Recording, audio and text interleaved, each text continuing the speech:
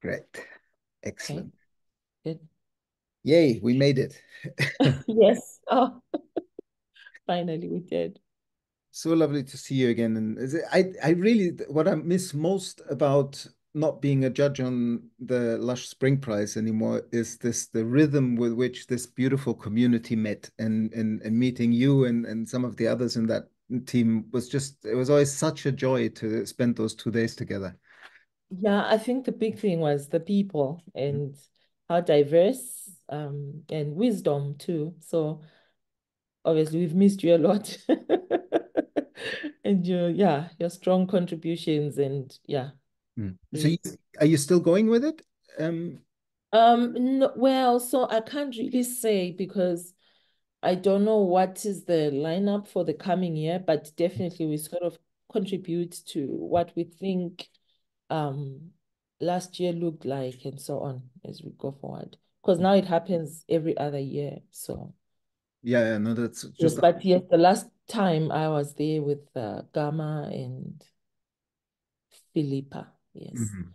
From the old judges doc. So it was nice to meet the new judges. So I guess it was good to help um with the transitioning. Mm. Yeah, I remember Philippa's um, called again the little cr cream pies that she brought us. It was so yes. delicious. she was the best with the food. Yeah. She is. she still is. She's the best host. so I the, normally in this series, I I just stop people off by asking them when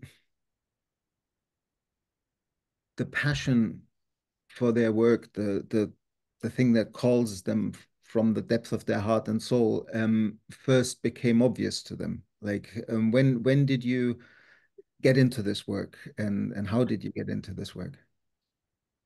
Okay, that's such a huge question. Um, I guess I couldn't answer it without answering how I grew up. I don't know how that will do to your time, but it, it won't be bad.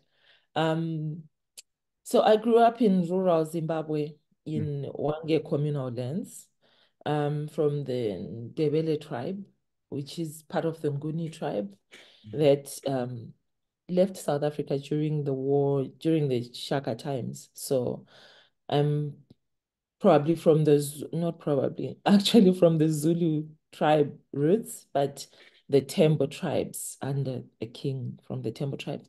Um, so growing up, I had a beautiful grandmother. So unfortunately, I was orphaned, and then I also didn't grow up with my mom. Mm -hmm. Um, so we grew up with our grandmother with seven grandkids. Um, I was the oldest, mm -hmm. and um, so in a household of eight females. So it was seven grandkids and my grandmother and um, being rural and um, probably the things that influenced families in those times. It was usually just easier to get your girl children married. Uh, also because we we belonged to a certain sect that my grandmother used to go to as a yeah sort of a religious sect, but it's not fully Christian. It's called apostolic. So mm. they used to marry girls very early, and I think it was an easier option to take. But my grandmother just didn't do it. It was it was a miracle. I don't know how she did that, but then it meant we had to work very hard to feed ourselves. We didn't have cattle, goats. We just had chickens. Um, but that meant we worked in people's fields. And most of the times when we farmed, it was either we were too late with the seeds or when we got help from the community, it was when everyone is done um, doing their own cropping. So half the time, really, we didn't have food, not even half, most of the time. So I think internally, I had questions I would like to think because I don't remember those questions immediately, but I naturally grew towards going to agriculture class. And in those times, um, I mean, that's in the 90s. My, my my my classmates, the girl classmates, didn't do agriculture. They all went to fashion and fabrics and food and nutrition. And I was with the boys in the garden. I, yeah, I, I didn't do English literature because I thought there was a lot of reading. I wanted something practical. Um, so from there, my path of life naturally drew me towards um, natural sciences, loving physical geography, eventually landing in the Africa Center for Holistic Management as an intern when I got a scholarship to go to university. By the way, all this time, my education is uh, sponsored by a family that I met only in 2018 um, from the UK. So my grandmother couldn't afford the school fees. And then from there, I got um, a scholarship to go to a university in South Africa. And my grandmother passes on after I finish just just before I finish my high school. And then I remain as a child head for our family in the fields. And so, yeah, I think there's a lot of interaction with cropping and just taking care of my uh, cousins and my young sister and just becoming an adult at a very, very young age of 16, 17, 18, 19. We were alone all that time until I moved to be with my aunt and immediately went to the university in South Africa by scholarship. And so from that time, when I checked into the Africa Center for Holistic Management, where they practice uh, holistic management, the framework, and you see it in practice. Um, a center really founded by Alan and uh, Alan Savory and Jody. Before you go on to, to, the, to the center, yeah. I'm just curious about that family and how, how they found you. And um, was there an organization behind it that supported cases like yours, or was it very specific your case? Uh, it was I, I, it was an it was an old man, not very old at the time. He was called Mr. Victor Voss. He was from the UK. Um, I think he was one of those Christian missionaries, but Okay, sorry. I thought I thought I'd lost you. No, I didn't. Okay. So he was one of those, it was like he was like a Christian missionary, but he also just did lots of charitable works. Um, mm. so I he he didn't really put that in the front, but only later did I learn that he he was funded by a group of people from his church back in England.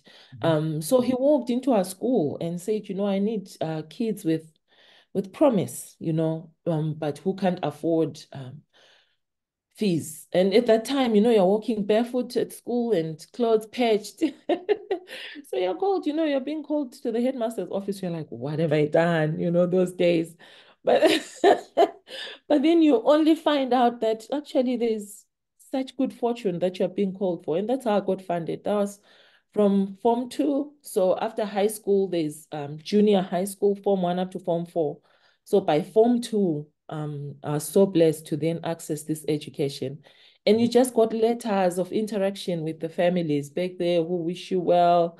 And I tell you, you know, one day you will really make it and you will thrive. And that's probably the greatest gift that you could ever give anyone if they have potential to be anything. Otherwise, I couldn't have never finished the very basic, what we call O level. Mm -hmm. Yeah, it could have never happened um, because through that, then I managed to then um, educate my own uh, siblings too, you know. Um, yeah, and so it's a thing that I carry very dearly, even now.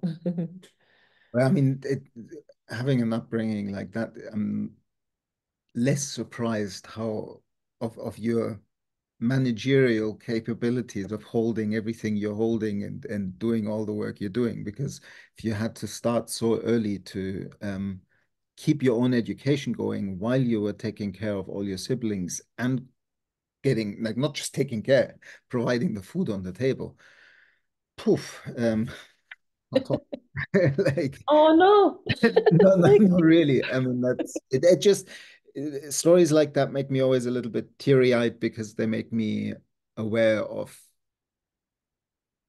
how much for granted um, people take privilege and even if you start your life like I do with a sort of deep commitment to gratitude and and um, every day um, saying thank you, um, it still takes a story like this to to remember how things that so many people in in my cultural background cohort, people growing up in Germany in the 1970s, they just think that education and shoes and clothes and food and all of that is just basic. That's what you get. And then there's what else can I have?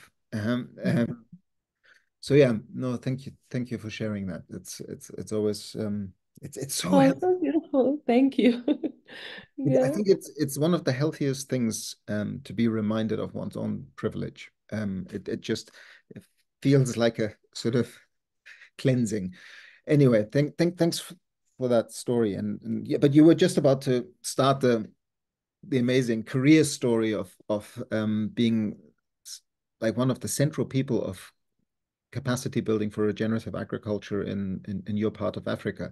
So, so when, when did you get in touch with with um, the Savory Institute? Directly from or while you were at university, or while I was still at university, um, I think the curiosity grew, and I remember very well my degree program didn't really require that I I sign up for an internship. But then I heard about this center because now I was living in Victoria Falls with my aunt. Um, so I just went there for, you know, I could be an intern for a month every time I'm here on holiday. And I think my mind was blown because, you know, like for the first time, you know, after coming coming out of university, mm. um, you are aware of physical geography, human geography, but everything is in silos, right? But then you get to this place where you find a rhythm, basically. Even when they are moving their cattle, their chickens and goats, and they tell you, oh, the chickens are picking out bugs and ticks. And you know, there's birds also, wild birds that are on cattle and goats and then you have a community of people that are working on this and when you come through the gate everyone's just telling you oh here we do holistic management which is a decision making framework everyone's sort of like saying it to you and you're like okay let's see this thing so every month as long as i was on holiday I was at the Africa Center, either helping with the tourism side. Um, at that time, there was um, Alan Sand, Roger Savory, and um, the leadership there, Huggins Matanga and uh, Sani Moyo who were there. and um, you know they'll just post me anyway where there was a gap. And I remember when I was done with school I just phoned I was like so I'm done. You know what yeah what what can we do? And literally I saw them create an opportunity for me whether you're administering the training department or just helping produce printing materials. And then one beautiful day I saw a man called Alan Savory old, quiet man with his wife, Jody. It was my first time. And, you know, obviously you would have heard so much about this man now. You like have a presence um, when he comes in. And at that time, there was a group um, of scientists from the National Parks Association here between South Africa, Zimbabwe, Mozambique, and Namibia. So he was giving them a, a talk and taking them on a ranch tour at the learning site. And I totally started attending every time he was sitting in with someone, um, like a group of people just to listen. Because even if he said the same things, every time he said it differently. And so that really grew the scope of my mind. And as you say, is one of the greatest mentors in regenerative agriculture uh, through the holistic management concept. And I am totally one of those very blessed people who sat at his feet when he taught. And half the time you're like, don't say it like that, you know, because he's very passionate and everything. And so it's been amazing to work with him. Also, just realize how passionate he's been, how he gave his whole life to it. And I also feel like I did find my purpose through um, the work that Alan did. And um, I worked with communal lands, worked in training NGOs so that they also go and train their communities and so I grew and grew and grew and continued to grow until I felt like, okay, I need to explore more of the regenerative world. And so I left the full time employment in 2015. I left scared, just jumped out. Everyone's like, what are you thinking? I'm also thinking, what are you thinking to myself? But, um, you know, there's only growth the moment you open more doors and the relationship with holistic management and the center, because I'm still an accredited professional with the Savory Institute, only gets better because you get more experiences. Now you have uh, more friends, Regeneration International. We're all now like a big pool of people, you, Lush, mm. everybody. So it has really given me that wide exposure to the whole world from Africa to the rest of the world.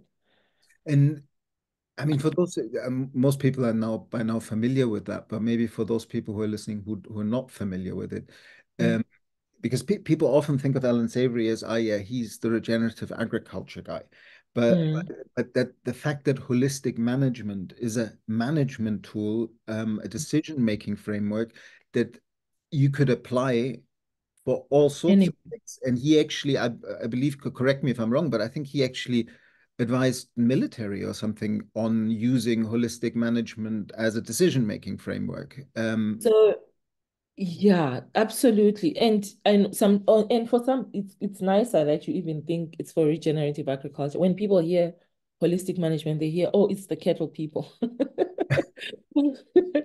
but it's really broader. And as you've well put it, management framework, decision making framework that helps a manager, a land manager, a people manager, an economic manager, because those are complex uh, bodies of uh, things that we manage, um, to manage connections and complexities that exist between the pieces of an economy, of a farmland, or of an organization.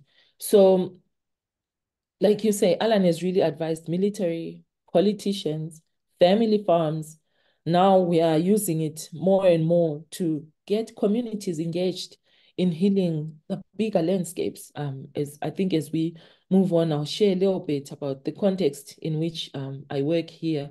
But also I'm using the same framework. I feel like it's a thing to first use it on yourself. Um, what what do I want? you know, it's a very uncomfortable question to say, what do I want?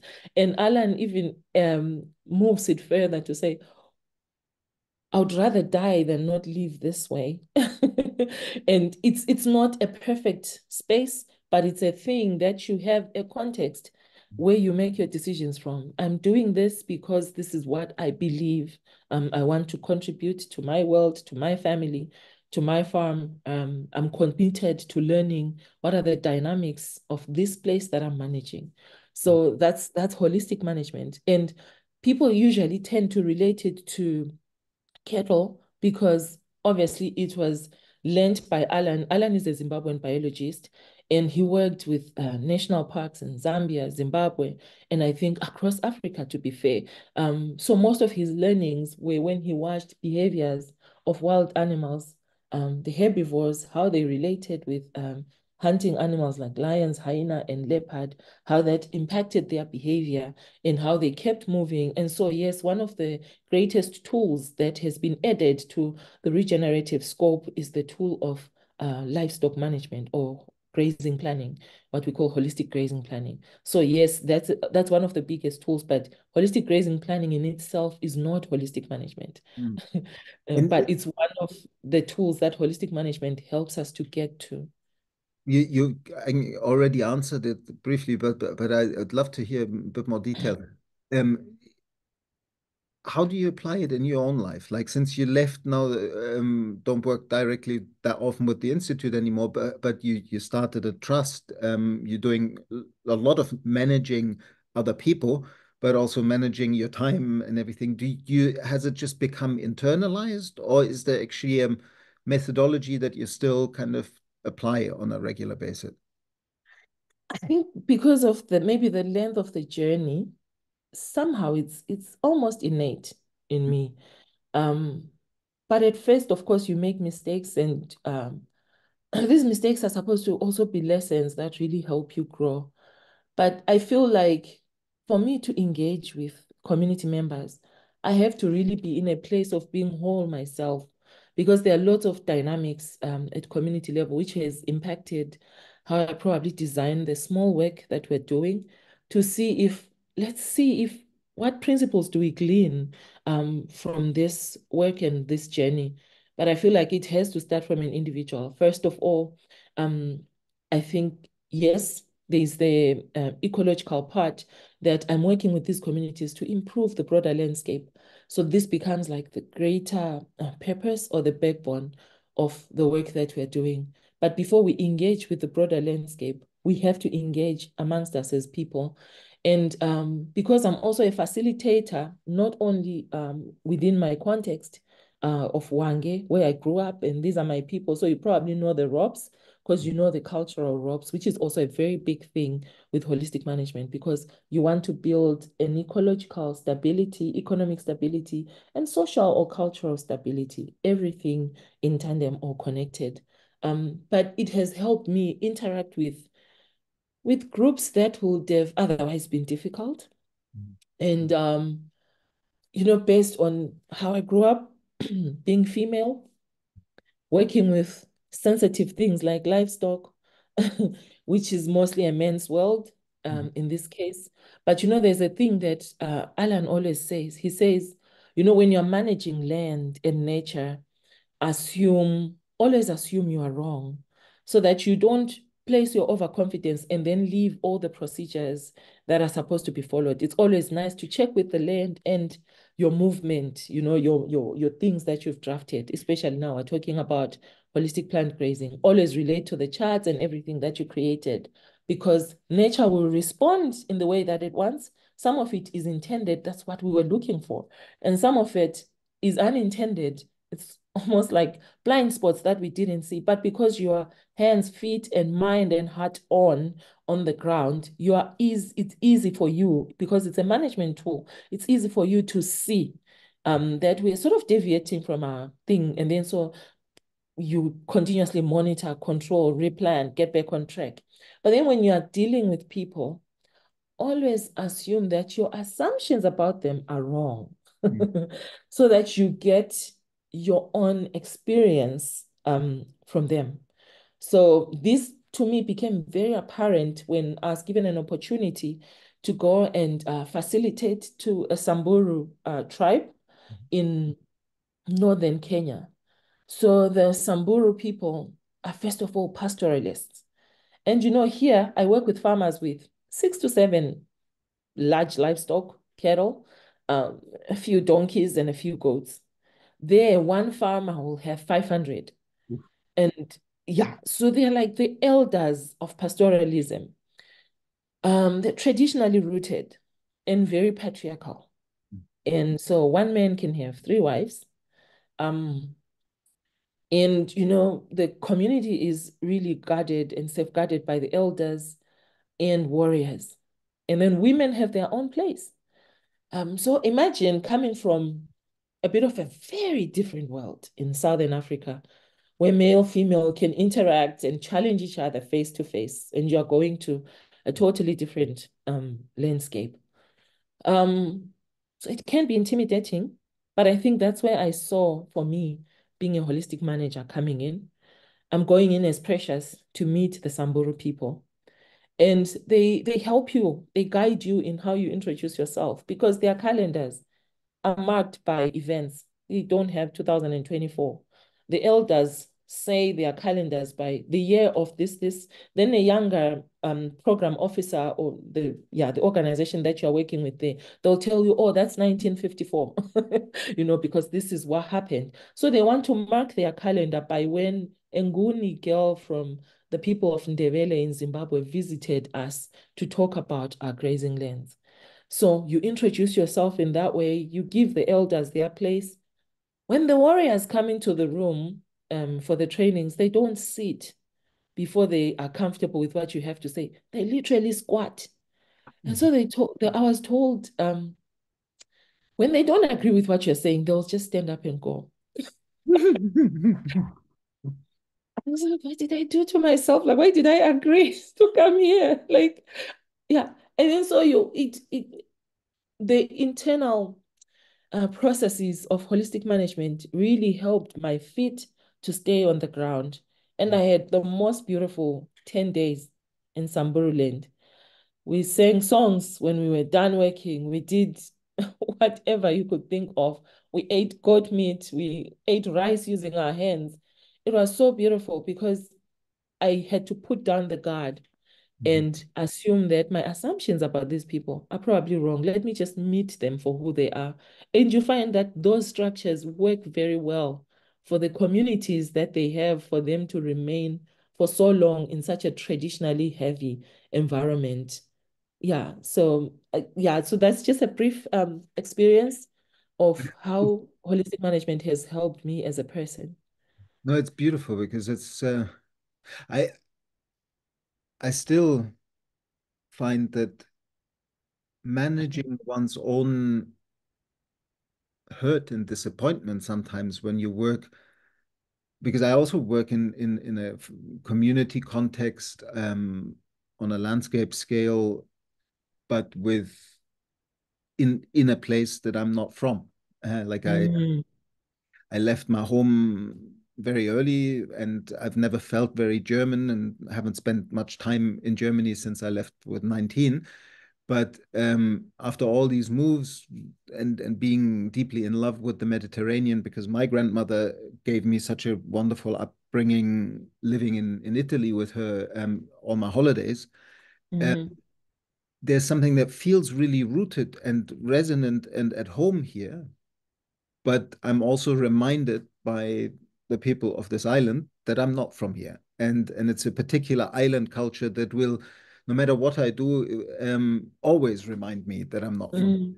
Mm. I, I find just that little thing can sometimes really give me a lot of trouble because it, it makes me makes me feel unappreciated or or, or hurt by by uh, not feeling included uh, um, somehow and and also I clearly have ideas of how I would love to help the future of this island but but the it comes with a preconceived idea. Uh, mm. So it's this deeper process of of listening and and appreciating that um, just takes a lot of time, and it takes a lot of deeper personal practice of not getting reactive when yeah when hurt. And I think it's such a it's, it's a huge point because I feel like this work definitely has lots of energy drains that happen.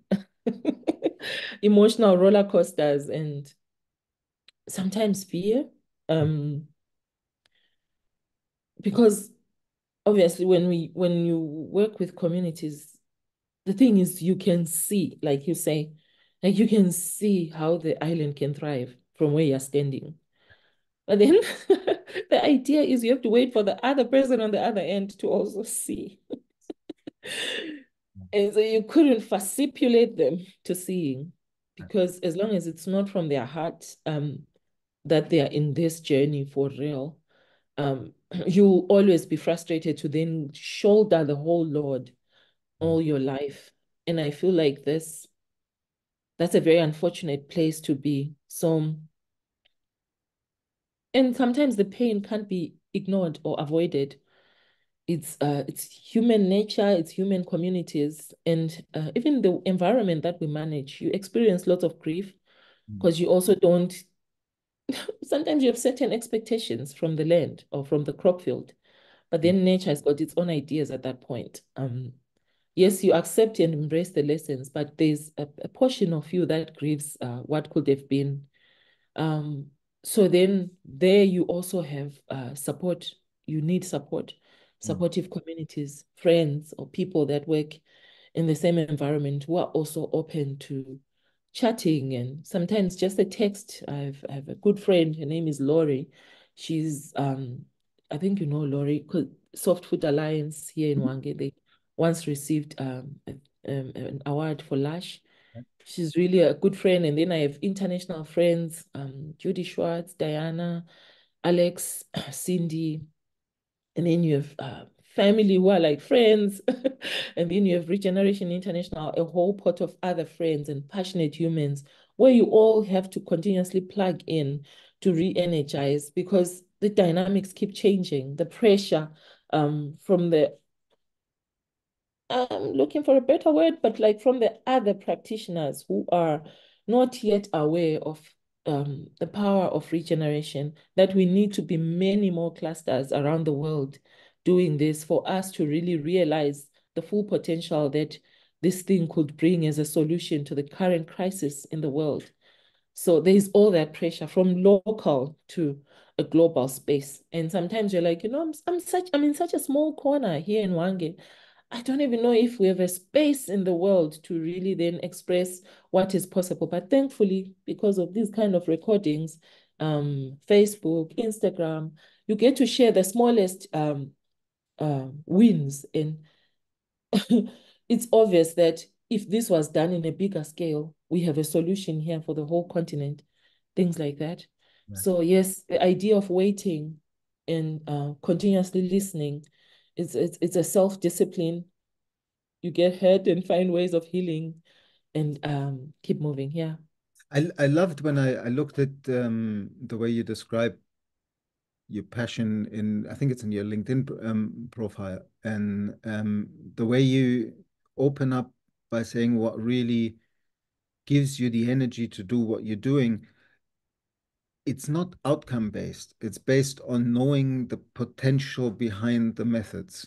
Like it's it's it, like basically having seen the the yeah. beauty of humans healing landscapes together with more than human beings working on the landscape um like it i just love the reframe of it's not sort of I, I can see the potential that we can do all of this and heal all of this. The the the, the energy, the way I understood it, came from simply the method works and it heals yeah. them.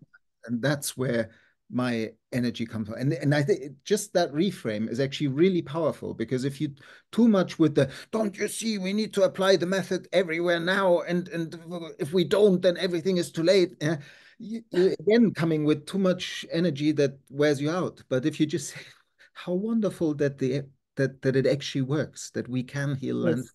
Yes we can heal land. The design looks different in different places.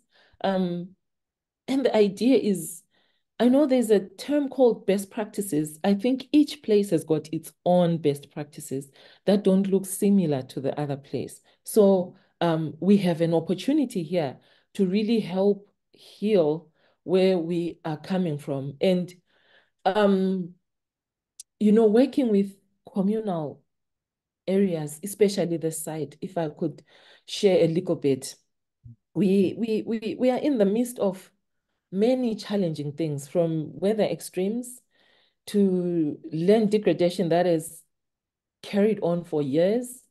And then that brings about um, poverty and scarcity of very basic uh, resources from food, um, financial stability for people to take their children to school and just resources in the community. Um, we are also in the uh, buffer zone of the national park. So on the other side of the road is a national park. On the other side of the road is a community. So the national park is a thriving place with wildlife. Um, but then there's what we call the human and wildlife conflict, which is an unfortunate description of an interaction of wildlife and communities uh, where lions can come and capture um, cattle and predate and have food from um, from communal land. So you are building all these bridges and gaps um, for communities that have gone through turmoil for many years. And um, so as uh, the work that we do here, at Igugu Trust, we are very passionate about creating abundance. First mindset, not, not abundance in what you can handle, but first from the space of thinking, from scarcity to abundance thinking, the fact that we can, first of all, turn around the narrative. Um, second of all, we create um, a communal vision of values, uh, who we are, uh, what we want, what is the future resource base like in the future how do we want to be perceived? That's like our behavior. How do we relate? When people look at us who do they see us as?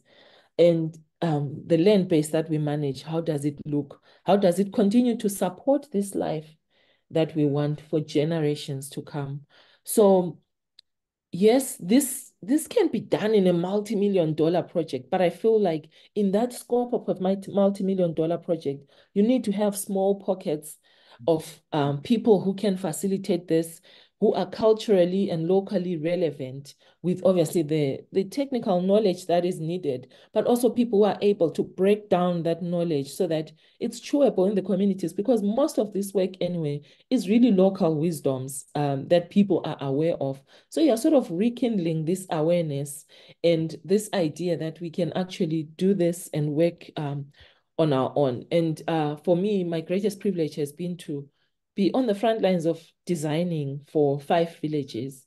Um, And we are using a cluster strategy.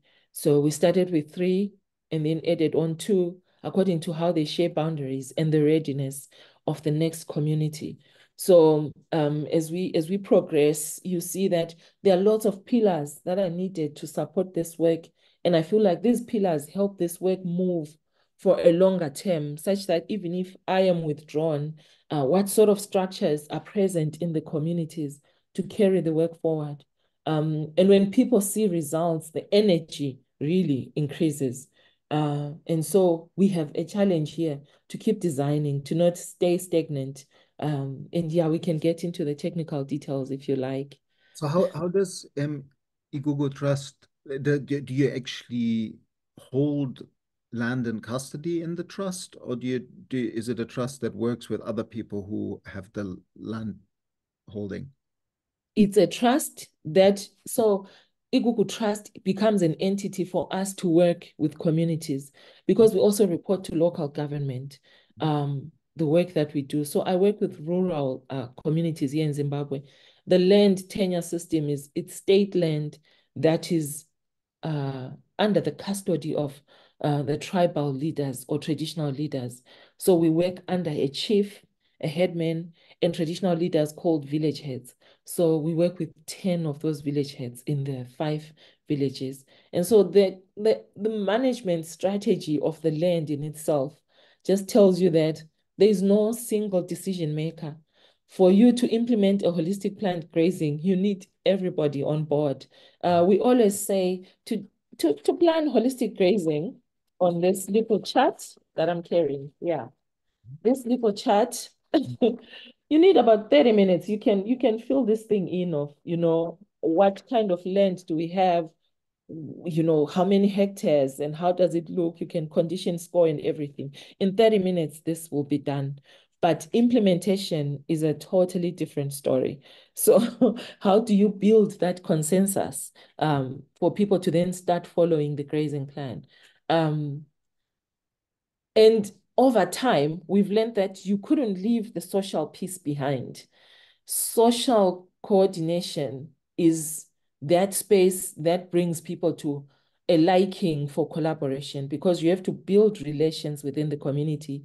Uh, farmers have histories, families and clans have histories. So and so is a witch. So and so's grandfather had an issue with my grandfather, so we cannot work together.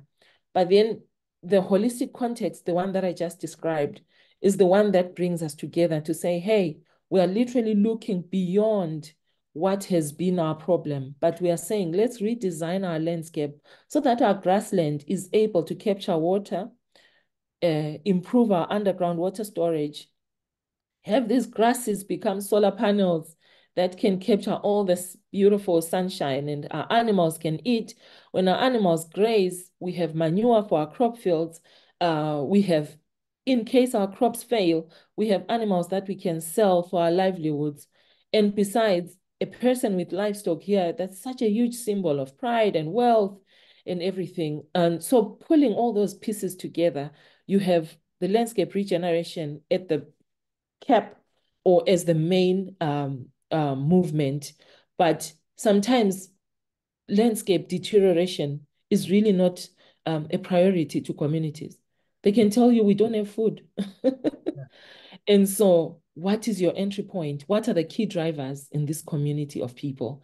Um, so I've, I've really watched many different communities. Some of them, the health of their livestock is a key driver. For my communities, they are agro-pastoral, having food on the table, is a key driver. If you can show us that we can improve the yield um, and the promise of using livestock to improve your landscape, what we have learned in one season, you can improve your harvest, you can improve your yield. And a few people can want to try it. When we started, only 12 households said, okay, we'll try this out. like, okay, let's try. But the idea is, I know the broader um, benefit of healing the landscape. So then you rope in the idea that do you realize that without a healthy grassland, your livestock will come to your kraal or your enclosure and have no poop in their bellies. so a healthy grassland is still needed to have food in the stomach of an animal so that it dungs and urinates and gives you manure while your land is also healing. So that's how these things are tied together. And now when you talk about improving soils in the croplands, and then people really have to bring their animals together because each household has got like six or seven animals. Um, so I've literally seen it grow from 12 households to 25 to now 82 and now almost 100 wanting to improve just the harvest and the yield. And remember, um, we always have a funny way of, of sharing the story of how people can improve their crop fields using livestock. Because I have six cattle, the impact is not significant, but the idea of kraaling animals in croplands, you need your neighbor's animals.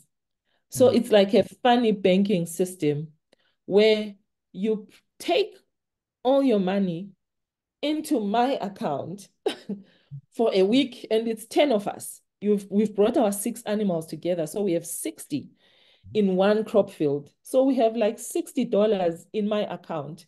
Mm-hmm. Somehow, when your money sits in my account for a week, it leaves an interest deposit, dung and urine. and then it has to go to our neighbor.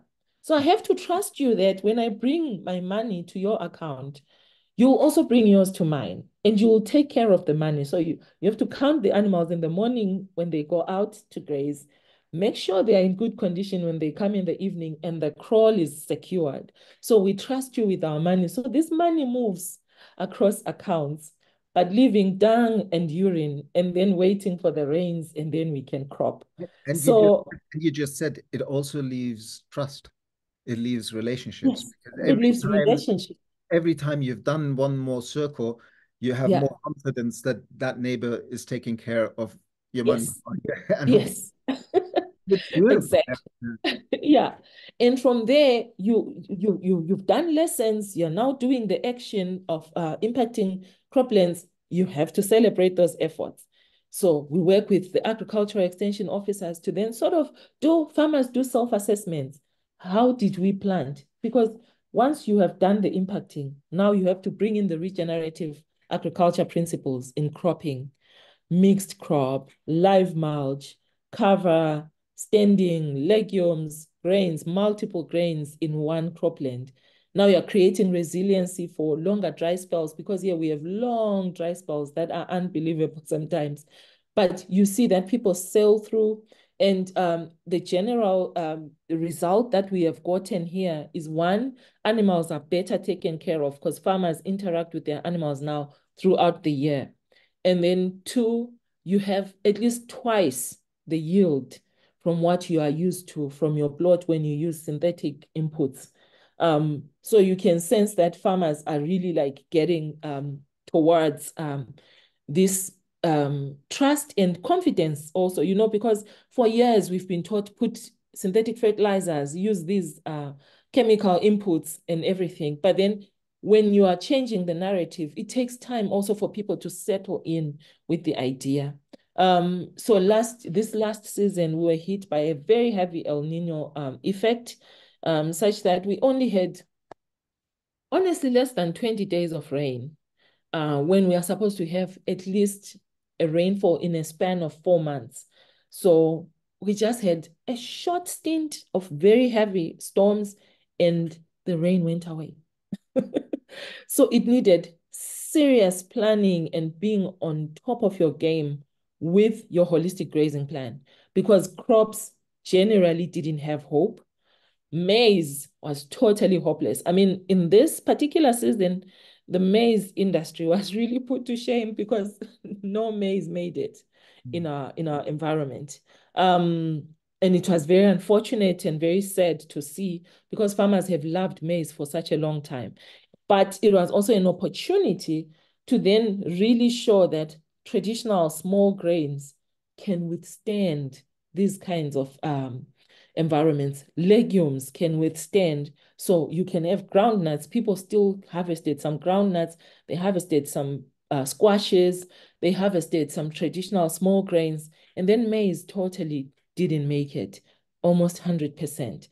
So that's also a lesson to say, okay, maybe lesser and lesser towards maize, but more and more towards traditional local grains. Um, now you're creating a narrative. Yeah, go. Just one one thing that, that so I don't forget it, because I like with you working patiently over time with families by family expanding these these networks of collaboration to heal the landscape um, and put food resilience um, and community resilience uh, in in people's reach. Um, do you find that there is still actively agro industry players that with much more money than Igugu trusts go into these communities and keep people um, in a in a loop that is take our chemicals and produce ridiculous crops for export? Or um, is that is that not so strong in your area? So here without without the word export but um the narrative that you've just spelled out is, is literally an everyday occurrence, um, which is one of the energy drains that I was talking about. Such that when you feel like you've built something beautiful, mm -hmm. there comes, and I, I like to use the word well meaning, well meaning, big grants to the community in millions. Um, but they have a totally different mandate and they have a push of something that we are all trying to say, hey guys, here is an alternative. In the other world, they've seen that it doesn't really work, but then these are new injections into communities, financially backed up. And so farmers usually tend to, you know, because of the social issues, they tend to lean more towards someone who said they have like 3 million as a grant. And then Igugu Trust is like, you have beautiful knowledge and a beautiful intention, but not so much money because also in the end, it's not the money that will do the work. Um, we literally almost don't have to buy anything except kraaling materials, uh, pay staff, be able to take care of our animals, and maybe improve communal breeds develop business strategies in the communities. So it's not financially heavy, though there is need of finances. You find that a medium grant can go miles um, uh, of, of impact. Um, so yes, there is that um, small, not small, but big, big unfortunate um, situations of opposing programs, mm -hmm. which can also be a very big stress to person who's a facilitator, uh, almost feeling like every day you're threatened that communities will sway and um, go the other way. But I, I feel like the kind of work that we've designed, one patch of crop field at a time, the truth uh, suddenly dawns to farmers. And I feel like one day we'll really see a turnaround of transitioning. I feel like our trainings are also enabling introductions of transitioning, hey, we can totally move to synthetic fertilizer free zones. And I don't know how the reaction will be when everything gets bigger. Because for now, it looks like, oh, that's a small pocket. But then it's a small pocket of actions by Igugu Trust, by Soft Foot Alliance, by uh, Africa Center for Holistic Management, by partners in the East and the North and in Zambia.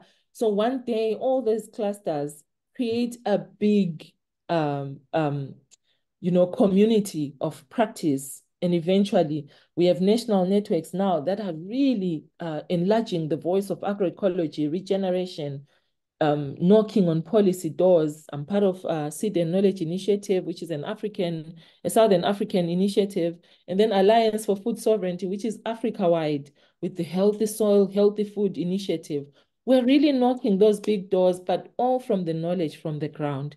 So there's that hope. So even if you find uh, a few punches on the ground that are working against what you're trying to build, I think at a national, continental level, there's lots of support also.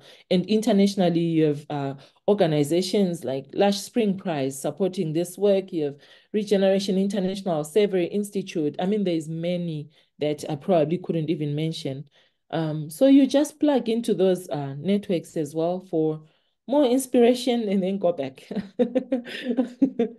You, um, with your work in southern Kenya that you mentioned, um, as, as you were speaking, I was thinking even even in agricultural contexts here in Spain or in, in other European countries, there is a, is a situation that farmers who are locked into a particular way of doing things, um, mm -hmm. even if they can see that that way of doing things is degrading things and getting worse and worse and the conditions aren't getting better, um, the the risk of shifting the system into something else and sometimes the necessary loss of harvest in the mm -hmm. transition um, mm -hmm. is is a sort of can't go there because I don't have the money to not have an income from my harvest for a season. Yeah. Um, is that an issue in in in Africa as well, in your context as well? Um, like, do, do, does Igugu Trust sometimes also ensure people that if you change your pattern and something happens, we we will support you, or how how, how does that work? Yeah, particularly. So also, yeah. maybe I'm add something else to the question. There's something else I was thinking of, which was well, I mentioned um, southern Kenya. Um, they have these um, land conservancies that somehow um, invite farmers into a larger network where they farm in such a way that the wildlife isn't negatively affected by it and and then mm-hmm. they, they, get some money from the um, tourist lodges. Um, yeah. do, do, do, these systems work in in zimbabwe as, as well or is it different? Um i think the conservancy strategy has really worked very well in kenya both uh both the samburu and masai uh the masai mara regions and uh, I think in Southern Africa, honestly, the only communities that have tried the conservancy strategy are in Namibia. So this, uh, the concept, I think, is slowly coming towards um, us. So in terms of uh, financial uh, reimbursements or helping the transition, we haven't had um, that great success. But I can attest to the fact that I think in Kenya, it's been really amazing to see um, the core relationship between livestock, wildlife, and the herders who are moving livestock. Um, and then in our case, I, I, I truly believe in small transitions because I think you want someone to first see where they are going and they can be adding acre by acre every year until they eventually are out of the chemical uh, or synthetic fertilizers. That's what we do, at least as the Igugu Trust, because we don't have structures to then financially back up farmer transitions. But it's a model also that could really work, especially with commercial farmers. If uh, whether governments or or funders that could fund regenerative um, work could really support, especially private farmers. Because also I feel like private farmers are needed um, in this space to also really transition out. Because especially um, in the um, eastern side of our country, and um, there's lots of farmlands that are still really stuck in industrial agriculture. So that model would work as part of helping to transition. I think we have a lot of work in the regenerative movement. For now, we are building enough evidence that this works. And through the networks in Africa, the agroecology movement is really um, shining, um, especially in the seed and food systems uh, department. We are also plugging into that, relating uh, the seed and food systems with the broader landscape regeneration. But then unfortunately in Africa, thousands of hectares of land need regenerating. So we're talking beyond crops.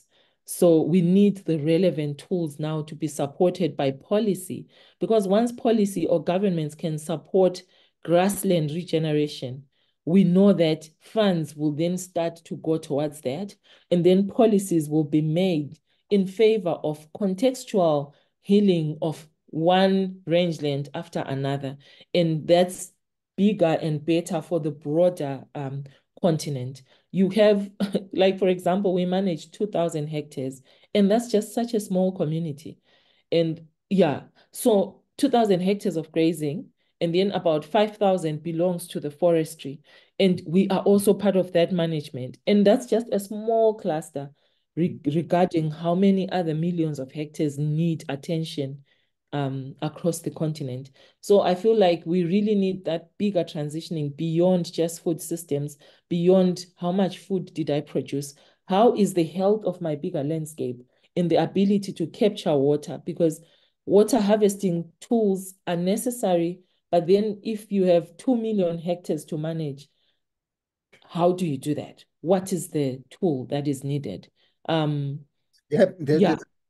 There's, a scaling there of how how do you like the conversation I had um, with Natalie Topa um, about her work um, at the at the farm scale, um, doing the slow it, spread it, sink it, and heal the farm scale hydrological cycle is is is one thing, but then how to do it at the bioregional scale or the landscape scale um, is is a different type of um, re supporting the, the the the whole watershed to become more capable of storing the water that that falls. Um, and have have you because you mentioned earlier that your work is becoming more and more at the landscape scale. Um, mm -hmm. Which organizations are you working with there, and so we have, um, I think at a broader landscape in Zimbabwe, we have what we call the PELUM Network, which is um, a national network that brings together small organizations that are doing this work, and we are cross-learning um, across um, each other's work. So about two weeks, yeah, two weeks ago, we had 55 um, people that came so that we did learn together on this side of my world uh, by with Igugu Trust. So it was eight, eight organizations that are doing holistic land and livestock management across the country, and um, altogether 12 that were interested in knowing how to move forward to heal the bigger grassland. Um, and so those pots of learning, you then have um, communities taken by PELUM Network to participate in national dialogues where you bring ministerial uh, departments from the government of Zimbabwe to share the kind of work that we do on the ground. And these stories, as they feed up to policy, you can sense that there is now also organizations that are moving towards helping the government structures to then create agroecological policies that will support farmers in implementation and maybe intentionally also direct funding towards helping farmers. So that's the broader landscape um, that I was mentioning. And then in the Southern African region too, we're creating courses, curriculum, how do we then continuously create experiences for people, whether it's a consumer, they have to experience where this food came from. They have to experience where their piece of meat came from. So you want everyone to be exposed to this so that they intentionally support um, this kind of work that we're doing. Because in the end, even if you heal the landscape here in the corner of Hwange where I am, if you don't feed to the bigger uh, movement in the country and in the region, the story just remains in this corner. And how do we then um, exponentially improve or scale up this uh, according to how it works in the next community or the neighboring country. There is no way of doing it if we do not plug into the networks that have been built countrywide, um, regionally, and in the sub-regions, and then eventually internationally. I feel like the network uh, loop is needed to share lessons, but also to take action and to also encourage action, especially to the powers that be in the political realms. Yeah. I mean, I completely, it's a really important point you just made. Yeah. Um, and from my personal experience, is that there's a, there's always a tension between the amount of work that is that needs to be done in the community on the land where your physical body hits the ground like where you're at like your region. And then there's the need to coordinate all the good people that are doing this work in the regions um, with each other so they can learn from each other and support each other so you can tell the larger story and and and also read, as you also uh, said, sometimes it's it's simply knowing that other people are doing it elsewhere that gives the energy to to say, okay, mm -hmm. there is a bigger picture in in uh, defining itself. But I find that there's a real tension in terms of time management um, between how much energy do I put into the network and how much energy do I do on the land? Because um, if you do too much network and the land collapses or, or the, the, the crops die or, or whatever, then um, that doesn't serve anybody. Uh, how, how do you dance with that dynamic? I'm not even laughing. I, am, I am totally surprised because you're bringing this up. Um, I think my team and I were just talking, guys I think this year that's enough networking.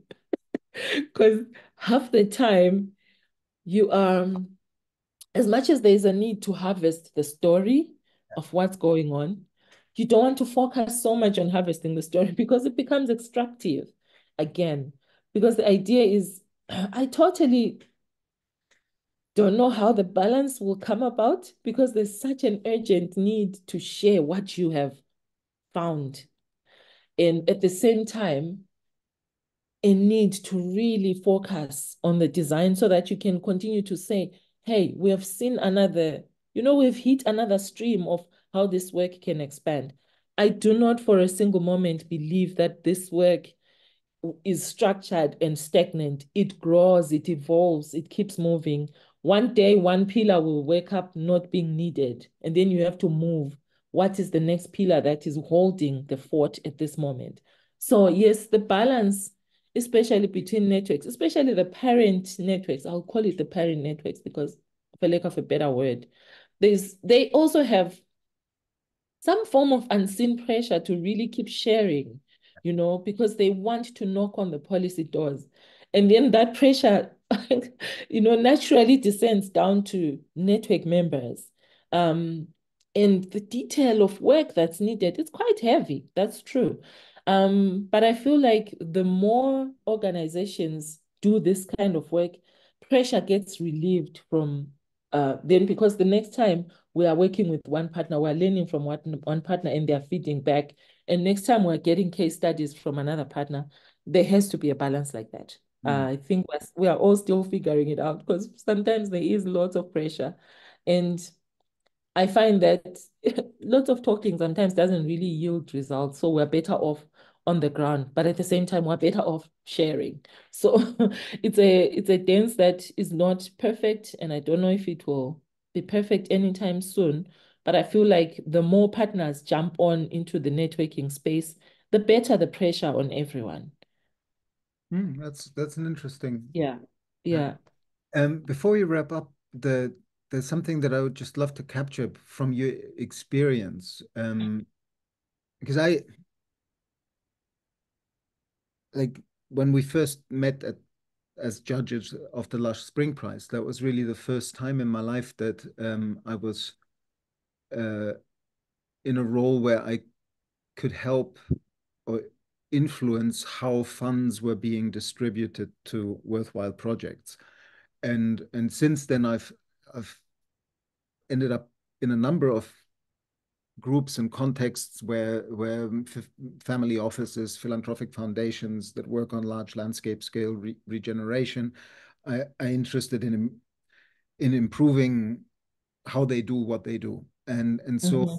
for me, um, having somebody with such experience over so many years, um, I would just love for you to to maybe say, like both with regard to the different types of funding, what works better for you, what works less well for you. I, I understand that um, Igugu Trust has some kind of government funding as well as foundation funding. Or, no? No. it's all. Tell me, how, how, all, how do you. All foundations. yeah. It's all, sorry, I didn't hear that. It's all? Um, Just uh, small grants from foundations.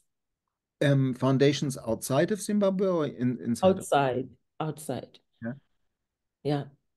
And but you still do need to like as a trust you need to work with the government or because it's strategic to work with the government no as as a trust i think it's strategic to work with the government because we are all partners helping fulfill government mandates yeah exactly. Mm -hmm. So yes, so we need that support and that partnership with government, and we report um, to the local rural district govern governance um, to share like what targets we have managed to fulfill, and they obviously stake it into their own um, government plans, and they can share that okay, we're achieving this uh, through this partner Igugu Trust.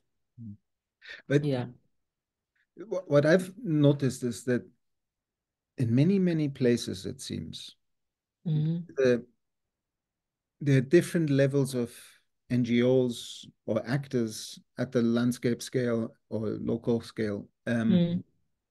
in that are supported by somehow philanthropic money to do good work mm. in their region. Mm -hmm. And -hmm. there's they almost it's almost like they fall into two broad categories. There's the the ones that are quite small, running on a lot of passion, very connected to a community in a particular context, doing really brilliant work at a shoestring at, at very very yeah. very very little money and and really ultimately every bit of money that is given to them is match funded three times by the passion and commitment of the people working um, overtime more than they should.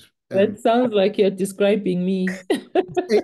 and my friends I, and colleagues here. Exactly, so exactly. and and and pretty much most of the projects that are at the scale of the um, most of the organizations that we had to deal with with Lush Spring Prize, apart from maybe the established organizations, um, the the smaller, younger projects were all like that. Uh, and yeah. but, but then I'm noticing there's are these other organizations who have made that jump into being and I don't know if this is always a good thing, being a lot more structured, having a website, having all the documents that a, a kind of due diligence process from a very big funder would require in terms of the accounts and the mission statement and the strategy and the long-term plan and the deliverables and all these framings that are enabling constraints uh, and sometimes more constraints than enabling.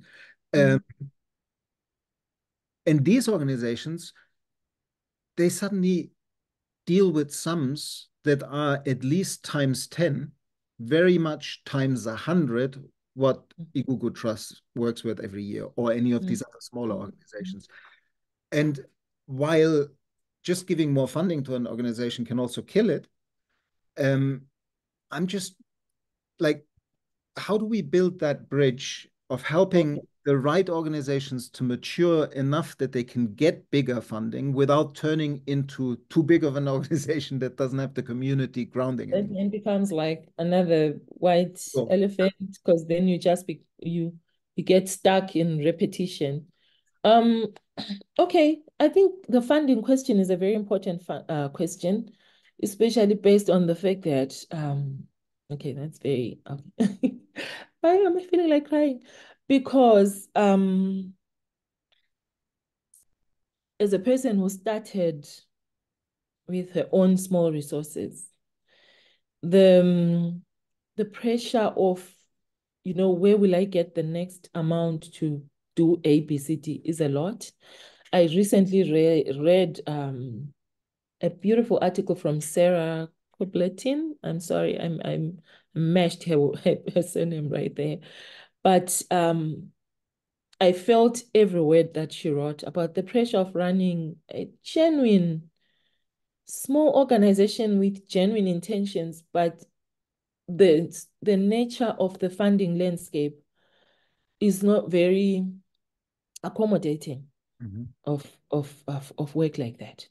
Yeah. So I think it's a thing to accept. I'm very grateful for the funders that stepped into the vision um, entrusted us when we really didn't look like anything. I, I had a tiny car that would get stuck in the mud when we were trying to go do some work and and farmers at the same time I used to NGOs who would come with millions of dollars and your budget has got nothing to do with millions. If anything, you're saying, hey, we're going to cook a meal for this big workshop. Can you please bring some of the food? I'll bring some too. but that's a model that started because we didn't have funding and I haven't dropped it. Even if we then got funding, we still contribute meals together. it, it's now part of creating generosity and abundance thinking.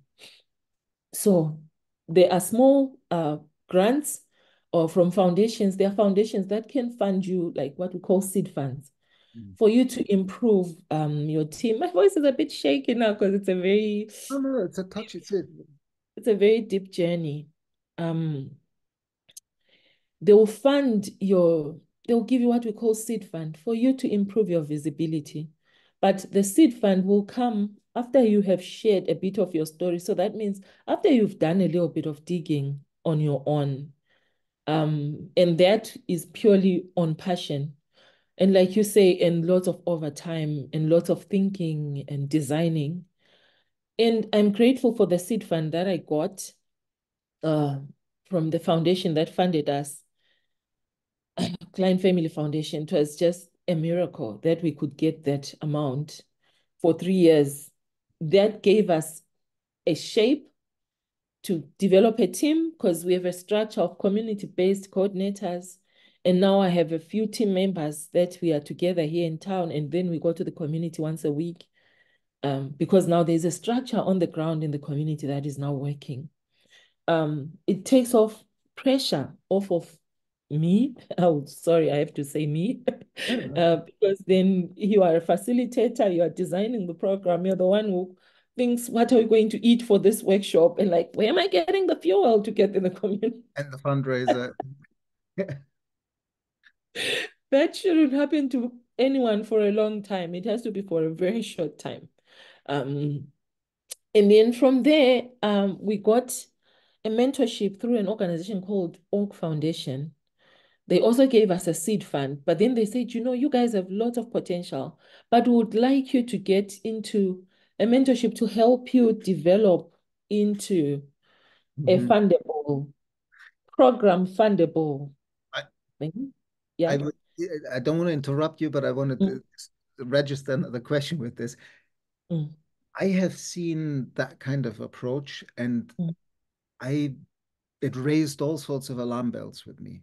Like I've seen that one guy once at a meeting mm. wrote his oh here's what we do when we identify a really good um, ngo in africa that does good work in a small community context this is how we take them to scale and then he showed how he was doing these trainings and da, da, da. Mm. And I. I just felt like god oh, this is how you kill them this is not how you... yeah no it's it's it's like you said the structured place is good for receiving funds but if you lose your fabric of what has kept your design going, yes, you're about to also die. Mm-hmm. Because then you get to this comfortable place and then you relax.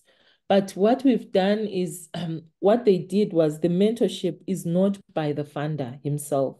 Mm-hmm. There is a local organization. Um, thankfully, they are just across the border, Zambia.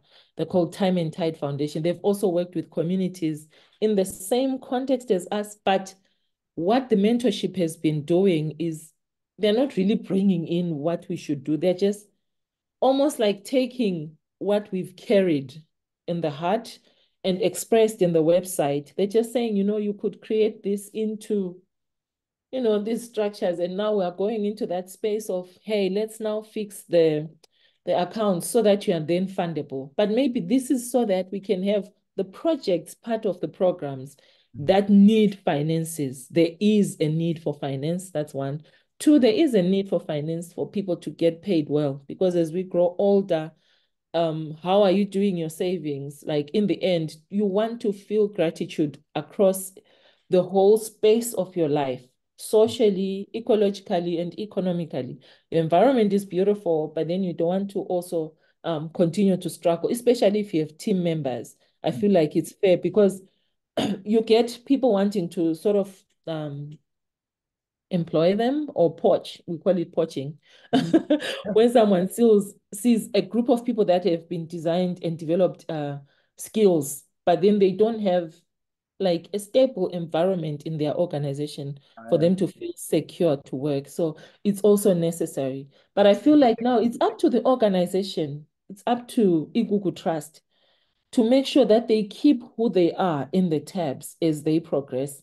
And so eventually what really I, I feel like what really makes our colleagues and us in this space fall is to put your eyes on the money. Again, you, you've become uh, sort of reductionist. You're just looking for money to keep your work going.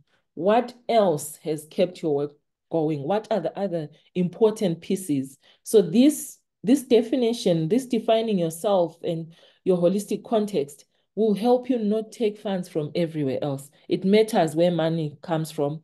It matters what is attached to the money that's coming? Are you able to fulfill that without disrespecting the people that you work for? It's like when you've eaten um, food in the in the workshop, and you know there were 300 people, but like maybe 20 of those people couldn't write. So maybe they couldn't fill in the attendance register. You you you want respect. Yes, can we write your name down? But if we didn't write the name down, can they still be counted as they came, you know, because sometimes when it comes to funding, how do we validate that there were 300 people? And that sort of really doesn't sit well. so, so what are the strings attached to this funding? You hmm. know, is it respectful to you as the organization, the individuals in the organization, and the community? And yes, you have a big responsibility to be a good steward of public funds that everyone has worked so hard for. Because when they fund you, it's an issue that we trust you. Then mm. you have to put your house in order, make sure that you have your respect with you in the whole process and respecting the people that you work with because funding can be enslaving. We can be enslaved to log frames and enslaved to this happened and this didn't happen. And then there is no flexibility to say, hey, look at your design. And if you feel like you need to change, can we talk? Because I feel like there needs to be that platform with the funder to say, hey, I'm seeing that the direction that this thing is moving, it's better to support this thing because projectively we're seeing that it will hit A, B, C, D, and then we see an exponential growth. So Igugu Trust work with landscape uh, level regeneration, grasslands, cropping, seed systems, food systems. But I promise you, in global community where we work, the most important thing for them sometimes to celebrate and to show that work happened and they would like to celebrate at the end of each growing season. We play soccer. Mm. Tournament, sports tournament brings 660 people together the whole day. You have quizzes that you run. There's game, there's games, there's everything for a full day till night, and people win and everyone's happy. And it's part of the work, but it's got nothing to do with holistic planned grazing, but it has everything to do with it because that's where we come and reconnect and join our energies. Hmm. So that's just an example that sometimes I think it's good to to know where you're working. and I feel like it's yeah. it's, it's such a learning that but I there are more and more people who have have been in the world of funding good work around the world for many years, but have realized how much they also got stuck in a rut with um, KPIs and um, quantitative uh, assessment of impact and how how mm. that has just um, made things more and more bureaucratic and um, made that less money actually did the good work because there's so much money just supporting people to fill in all the, the, mm -hmm. the uh, it's a um, but there is this this stage in this this kind of when the small naturally grown out of passion and a few friends trying to make a difference by doing it mm -hmm. those mm -hmm. organizations do tend to not not because anybody wants to not be doing it correctly. It's just you're so busy that you end up with an organization that probably has messy accounts and not fully auditable. Uh, it's and horrible. They, and they and they all do. Like I've, I mean, I've seen it here of, in, in Mallorca. It's like the small organizations of two or three people. It's like if a if a kind of accountant of a big NGO walked into the, their management system, they they'd go, oh, oh drop dead. We'll be like, what is this? Like, but, but, but so, and it takes a long time to then build back the pieces together because definitely you can't you can't divide yourself into uh, accountant and then a project implementer and then a trainer and then a coach and mentee, uh, a mentor for the communities that you work for and a mentee also um, to others where you draw your source of strength and encouragement from. So it's really it's it's very it's very dynamic but i think as the team grows i feel like then you have an opportunity to get a bit of funding to put your house in order so that you can fund other important pillars. But yeah it's messy. Mm. it is messy and, and rightfully so a good mess. But it's for me it's it's one thing that that i've realized in the last year that simply the process of, at a landscape scale, um, supporting those small organizations that are in that landscape at that like they've been around for a while they've done wonderful work they're really deeply committed to those people who are touched by them and and vice versa. There's the trust has been built in this small pocket so to speak. Bringing those at the regional level together and giving them just that simple support the, the the support of how do you clean up your act in terms of presenting what you do um, not just as what the small organization but as part of that regional network and and getting all of those small organizations to that next level of of kind of financial due diligence like basically mm -hmm. the capacity to run through the due diligence process of a larger foundation that's that's mm -hmm. what so many of those small organizations don't have. And they, yeah, but they but they need that systemic money. And the way that they could find it is by not just being one small organization but mm -hmm. 10 15 in regionally bound in a in a landscape context. Cluster partnerships yeah. And, and then have the support for all of them to go through this process of because sometimes it can be um, confrontational to people when you say, "Are your books in order?" and they say, "Yeah, yeah, of course mm-hmm. they are," yeah? and they mm-hmm. are to a certain level, but they're not in order in the sense that the, the due diligence process would would not raise the alarm. Yeah? Mm-hmm. so it's, mm-hmm. and and the, the interesting thing is that this particular sort of point in the development of reach like supporting small regional organizations to work together and to grow not in a kind of ah let's scale it up but grow mm-hmm. proper mm-hmm. way um it happens everywhere like it, i'm what i'm describing to you now that makes sense to you in your context is actually yeah. highly based on what i've learned here on mallorca uh, wow so, so it, it, doesn't matter whether you're in a privileged place yeah. Mallorca where there's billionaires slushing around the place um, yeah. it, it still has that same issue uh, so fascinating um, let's communicate that to the larger funders. Yes, that's really that's really a fantastic model too.